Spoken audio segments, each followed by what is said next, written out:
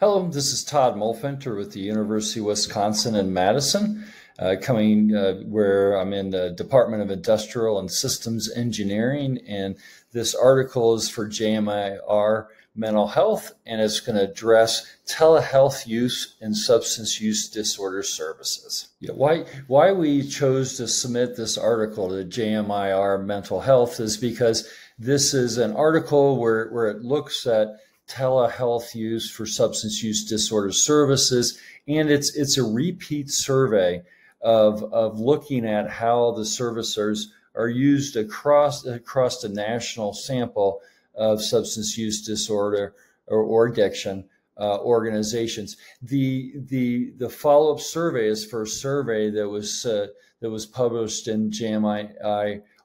Mental Health uh, back in 2020 and uh, and it's uh, it's a it's an article that um, was was really well received at that point. We, we had a lot of a lot of uh, citations, and uh, and so we thought it'd be natural to to as we as we put together this follow up survey of, of you know how you know of course during COVID there was a lot of focus on